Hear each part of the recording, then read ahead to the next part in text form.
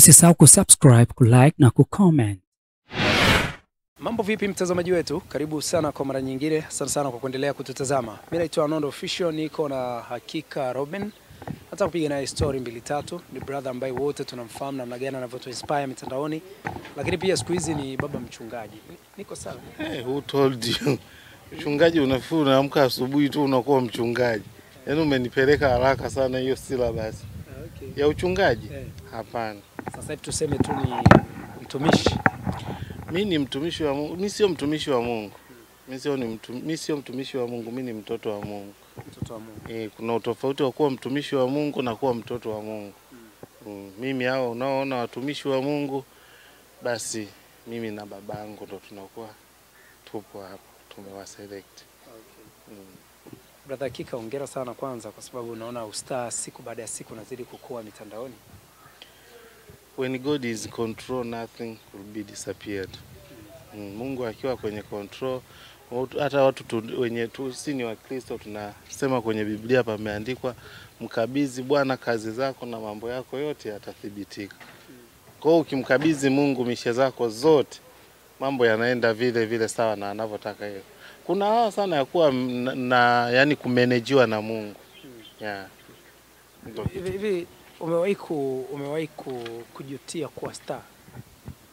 Mm, amna. Ya iliwahi kutokea nikajutia jutia, lakini saa ni ile tu hali ya kawaida. Kuna muda kila kazi ina changamoto, kwa changamoto fulani zinavyotokea, basi you feel like kwa nini niko hii place yeah. Na vipi maisha yako sasa hivi, unaona kwa asilimia kubwa yamekuwa mazuri kiasi gani? Ni maisha yangu mazuri hata kabla sijawa nini mtu mashuhuri ya, kwa sababu Mungu alishaniandalia meza mbele ya watesi wangu mapema kabisa. Kwa hiyo sio kwamba eti maisha mazuri nimeanza kuishi baada ya kuwa star. Hapana, mimi siishi kwa sanaa. Sanaa kweli inalipa, lakini sio kwamba eti naishi kwa sababu sanaa inalipa au nini. amna it is out of the of it. Yani mi nimekuwa huyu hakika kutoka, ndio maana umaarufu huwezi kuona mimi napapalika sana na umaarufu naangaika sana, yangu yenyewe nafanya kwa kurelax sana, sipambani hivyo kwa sababu sio business ya kwangu ya sana. Um, okay. Wakati tulikuona ulikuwa karibu sana na wasanii, lakini baadaye ni kama tena uka switch off. Tulianza kuona unaanza kufanya videos na nini, wasanii wakaanza kukutumia katika nyimbo zao, lakini baadaye tena ni kama ukaachana na hizo mishe. Sasa hivi naona unamposti sana mwanamama Rose Muhando na kazi zake, kazi yake mpya ambayo ametoa. Vipi, kuna namna uliona kwamba kwenye Bongo Flava kama unaenda ndivyo sivyo? Hata kwamba nilikuwa naenda ndivyo sivyo. Mm. Um, sifanyi kazi sana na wasanii wa Bongo Flava Mm. kwa sababu nafikiri pia muda mwingi nakuwa busy. Alafu pia hata wao wenyewe wanaangalia mtu ambao wanamuafford. Mm. Huwezi kutaka vitu ambavyo huviwezi. Mi ni wa wachache, mi ni wa wachache. Si huwa naona huko. Wasanii nao wao walo binafsi sana, yaani mtu akuite kwa nyimbo yake uhangaike ufanye challenge for free. For free sure, amna for free hapana. Hata kwa Rose, Rose Mwando ni mamangu, kwa hiyo siwezi kutoka out of that. Ni mamangu kabisa, kwa lazima ni support kazi ya mzazi. Mm. Hivi Akika Robin, content zake kwa asilimia kubwa zinakuwa ni za comedy, ni za inspiration, uh, ni za filamu tu kufurahisha watu au inakuwa lifestyle lifestyle? e, ni aina ya maisha ambayo watu wanaishi. mm. Kwa hiyo ni hivyo, kadi unavyozidi kuwaeleza namna unavyoishi ya ndo hivyo, ni lifestyle tu. Mimi naishi maisha yangu, lakini yale maisha yangu jinsi ninavyoishi watu wanafurahi Okay. ya unaona. Kuna namna ushawahi kufanya content ambayo inahusu wewe mwenyewe maisha yako personal? Zipo lakini chache sana, lakini huwa haziendi kwa mtindo ambao watu wataona ni maisha yangu. Maisha yangu halisi ni asilimia mbili tu yako mtandaoni, yaani asilimia kubwa ya maisha yangu halisi kabisa hayako mtandaoni. Ulishawahi kuona nimemposti hata babangu? Hapana, Ulishawahi kuona nimemposti mamangu? hapana, Niwahi posti mpenzi? Ulishawahi nimeona nina vitu vyote vya kwangu. Sijui tu juzi hapa nimeposti labda shule kidogo nayo, lakini ulishai kuona nimeposti shule yako kitu cha yeah, ulishai kuona nimeposti kitu cha kwangu kabisa hivi? Hata gari ya kwangu ulishaiona kuona nimeposti? hapana. ni posti mnilogi, Si posti mimi chochote, mi nipo tu, maisha yangu yako very secure, yaani yako very secure, alafu hakuna kitu kinanifurahisha na ninapenda kama ninavyoona watu wana complain kuhusu mimi, yani wananijua tofauti na nilivyo yenyewe, na mimi nabaki kusema okay, glory to God, hawajanijua. Kumbe kumbe Robin una hadi shule kabisa. Mbona hizo stori nilishazizungumzia sana. Ya shule ipo. Mm. Okay. Uh, mi natamani kujua unaweza kuchukua hatua gani endapo watu wanakuzushia taarifa za uongo kufika hatua kukuzushia labda umefariki? Mm. Kuna muda huwa inatokea misunderstanding. Kuna muda mtu anaweza akaposti kitu kama utani, mm. bahati mbaya social media kikaenda viral. Yeah. Yani ilishawahi kunitokea. mm. Yani mtu aliposti tu kitu tumetaniana sehemu akakiposti kama jokes tu kama tu kukiposti tu kwamba kibaki hapo, lakini kikaenda viral na kwenye jamii kikaleta picha nyingine. Kwa hapa tu naweza nikakutania wewe, nataka nikuposti labda umekufa, nikiposti kikaenda viral, kumbe mimi nilikuwa yani tu sikuwa serious hivyo. Kwa huwa inategemeana na mhusika mwenyewe target. Unajua hata Mungu mwenyewe siku ya mwisho hata wahukumu watu tu kirahisi, hata wahukumu nia, lengo lilikuwa nini? Ulivaa sketi fupi, lengo lilikuwa nini? Unaona? Kwa hiyo nia ile ya ndani ya mtu lazima tujue alikuwa ana nia gani. Ndio maana hata saa hizi ukimshtaki huyo mtu kwamba amenizushia, ukimpeleka kituoni watasema wanamhoji kwanza, wajue nia yake ilikuwa E, hawawezi wakamhukumu tu mtu bila kujua. Ndio maana hata mtu kama amezini kabisa umemwona, yani amebaka kabisa umemwona, akipelekwa kituoni watasema tuna mhoji kwanza, tunafanya uchunguzi. Ndio. Kwa kila kitu ni uchunguzi, hatuwezi kwenda haraka. Mm. Leo bwana, uh, moja ya habari ambazo zilikuwa zinasambaa kwenye mitandao mbalimbali ya kijamii ni taarifa za kwamba mheshimiwa au mtumishi wa Bwana Mboni Boniface Mwaitege kwamba amefariki dunia na zilikuja kugundulika kwamba ni za kizushi na uongo, na kwa mujibu wa stori za mitandaoni inadaiwa kwamba hizi taarifa zimeanza huko X huko Twitter huko na zaidi watu wa Kenya labda iti ndo walianza kuposti hizo taarifa mitandaoni, na baadaye kuna bloggers pamoja na page baadhi za hapa nchini kwetu zingine zina ushawishi zikaposti hivyo, na baadaye ikaja kubainika kwamba ni uongo. Wewe ni moja kati ya mtu ambaye unapenda sana kusikiliza nyimbo za Injili, kwa sababu tayari ushatuambia wewe hapa ni mtoto wa Mungu.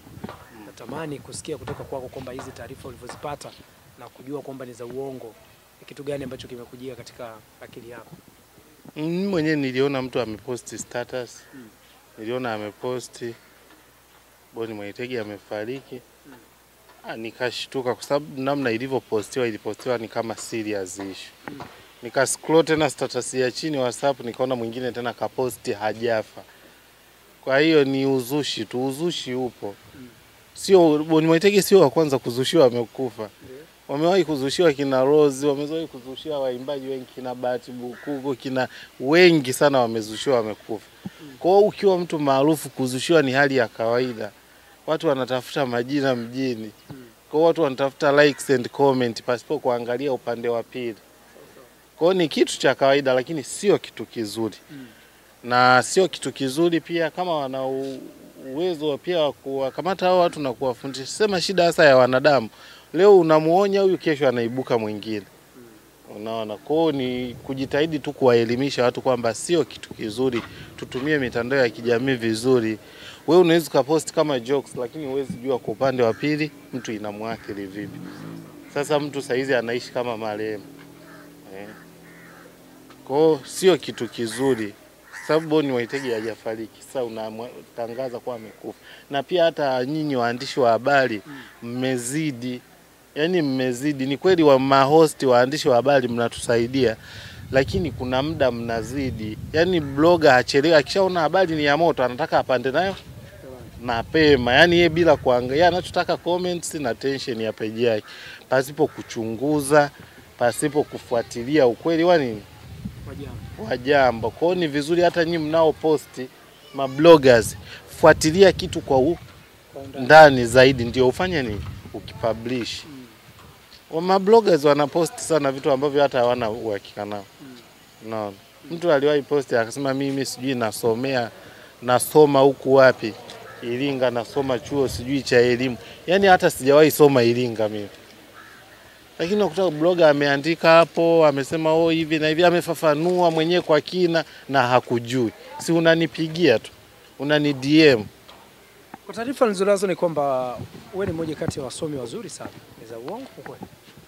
Wasomaji wa magazeti au ni Wasomi yani umesoma, una kiwango kizuri katika vile viwango vya elimu. Hapana, mimi sijasoma, sijasoma, nimeishia tu form 4 basi. Mm. Uh, Hivi ni, ni, ni, ni story gani mbaya ambayo umewahi kukutana nayo katika maisha yako? Story mbaya mm, amna. Mimi kiukweli maisha yangu niliyoishi nimekutana na story tu, yaani hata kama ni mbaya, sio mbaya hivyo sana, kwa sababu Mungu amenipa neema, sijapitia changamoto sana kwenye maisha Yeah. Na sio kwamba kama wewe umepitia hustling kwenye maisha mm. umepitia scandals, umepitia sijui nini nini nini, kwamba basi ndo watu wote wapitia hayo manini manini nini, hayo hamna. uh, natamani kujua uh, ili ni swali langu la mwisho kwako. mm. Natamani kujua pesa ambazo umewahi kutumia kwa siku, ambayo uliwahi kuspendi pesa nyingi sana, mm. ulitumia shilingi ngapi kwa siku? Mm, utumiaji wa pesa kwangu ambazo nishawahi kutumia huwa inategemeana na sehemu na na nini nayoenda. Nafikiri ninavyosafiri ninaposafiri kwenda nje mm. ndio natumia safari. Safari niliyowahi kutumia pesa nyingi zaidi mm. ni safari ya ya Dubai mm. na safari ya Sudani na safari ya Ethiopia. Hizo ndo nilispend a lot. Ambapo hizo ambazo hizo tatu, moja ambayo ni kuu kubwa sana, ulispend shilingi ngapi? ya Sudani na ya Dubai. Nafikiri Dubai, unajua kuna sehemu nyingi za kwenda kulipia mm. ambapo huko yani hata milioni ishirini Dubai ilienda Kwa siku. kwa siku ya ya kwa siku pale inaisha, kwa sababu pale una, kwa nini nakwambia hivi? Ka- Wewe ulisha hujai kwenda Dubai, hujai kwenda, ndio maana unacheka cheka bila sababu. Kwa nini? Unaona Dubai Eh. Usafiri wa taxi Eh. unaletewa hizi Rolls Royce ni tax kule Kweli? sure kama kuna mtu amewahi kwenda Dubai ataona hiyo Rolls Royce tax, na pale bei hauongei na nani na driver, bei price inaandikwa pale, unakuta amekwambia sijui dirham ngapi. Kwa ile ukiconvert ile dirham unaona huku ni kama laki tano laki sita kwenda tu ruti hiyo moja. Kwa sasa unakuta ukienda ukiruti Milioni imeshaisha. milioni imeshaishi. Kumbe gari la msanii wetu Diamond huko kwa, kwa kule inafanya kazi kama Diamond, Bolt. Diamond na. Royce. Nasibu. Um, na mimi sifahamu maisha Nasibu, hata kama anayo hiyo gari mimi sifahamu kwa kweli, sina ushahidi wa kutosha kama anayo. Na pia vitu vingine ni wewe tu ndo unaona vya ajabu, lakini huko wengine wanayo vitu vya kawaida. Kuna watu wana Rolls Royce wapo humu Dar es Salaam Okay. na hawajasema sehemu yoyote. Hebu hakika naomba kwa kumalizia uwape uh, wape andiko moja la Biblia wanaokutazama ambalo wakisoma itawasaidia sana katika maisha yao. Vijana, wanawake, wanandoa au na watu gani? Kwa sababu kila maandiko Hebu naomba wape vijana.